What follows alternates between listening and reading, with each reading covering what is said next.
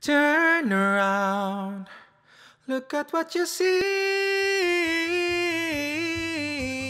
in her face, the mirror of your dreams.